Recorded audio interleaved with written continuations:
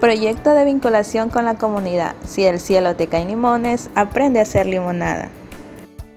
Los huertos familiares son parcelas contiguas a la vivienda donde se cultivan hortalizas de manera intensiva y continua durante todo el año. La producción de alimentos es generalmente para el autoconsumo familiar, pero el excedente puede comercializarse para producir un ingreso económico.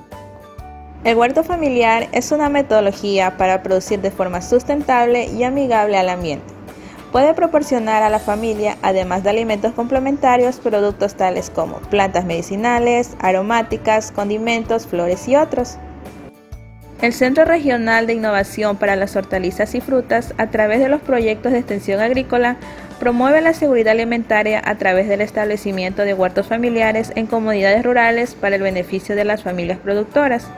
Estos huertos son establecidos en áreas de aproximadamente 100 metros cuadrados espacio ideal para alimentar 7 miembros de una familia de forma intensiva durante el año, además de brindarles la oportunidad de generar ingresos a través de la semi-comercialización y el intercambio entre los vecinos. Lastimosamente, en el sector rural y periurbano no dispone de un terreno donde cultivar. Sin embargo, existen alternativas para el establecimiento y producción de sus propios vegetales de una forma inocua, aprovechando al máximo los recursos disponibles. Existen diversas formas y diseños para el establecimiento de huertos como verticales y horizontales, los cuales pueden ser construidos de materiales reciclados tales como bambú, tubos PVC, botellas de gaseosas, llantas, palet de maderas, recipientes plásticos, maceteros, entre otros. Estos huertos pueden ser una solución para la producción de vegetales. Son sistemas innovadores, sencillos y fáciles de construir que nos permiten el cultivo de plantas aromáticas y otros vegetales de pequeños tamaños en estructuras que se adaptan a cualquier tipo de vivienda, apartamentos o en otros lugares.